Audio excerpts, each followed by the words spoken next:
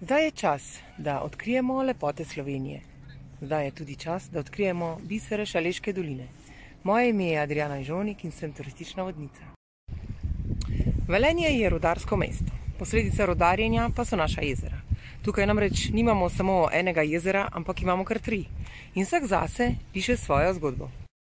Jezera so z leti postala pomemben habitat za ogromno vrst živali. Preko 250 vrst ptic in preko 50 vrst rib živi tukaj v tem vodnem kraljestvu. Za nas ljudi pa predstavljajo pomembno rekreacijsko in družabno središče. Tu se srečujejo vse generacije. Ugoden, konstanten veter omogoča jedravcem svoje užitke. Zopet drugim sprehode, tek, kolesarjenje in ribičijo. Za mano je veliko Velensko jezero, kjer se nahaja naše Velensko kopališče.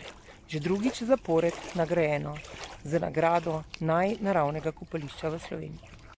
Naša jezera so pravi mali raj, zato vas vabim, zagotovo boste našli nekaj zase. Pozdravljam vas jaz in tale mlada labodja družinica tukaj za mano.